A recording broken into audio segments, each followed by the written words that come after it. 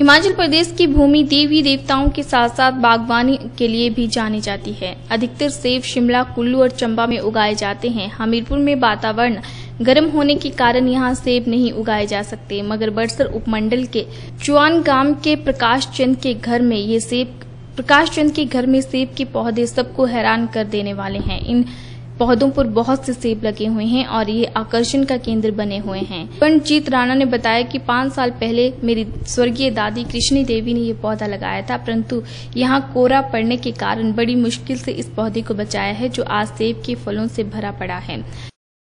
पौधा हमारे दादी जी ने लगाया था।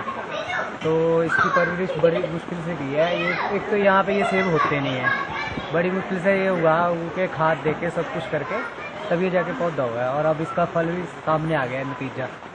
इसमें बहुत ज़्यादा फल लगे हुए हैं। प्रकाश चंद ने बताया कि इस तरह के और भी पाँच छह पौधे लगाए गए हैं जिनकी समय समय पर देखभाल की जा रही है ताकि उन पर भी फल लग सके।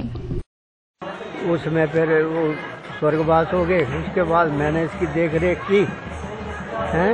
उसको देख रेख की अब ले जाऊँ। इस तरह के पौधे क्या आप और भी लगाना चाहते हैं? लगाए हैं मैंने जी। अच्छा कितने पौधे लगाए हैं आपने? मैंने लगाए हैं पाँच पौधे। और लगाए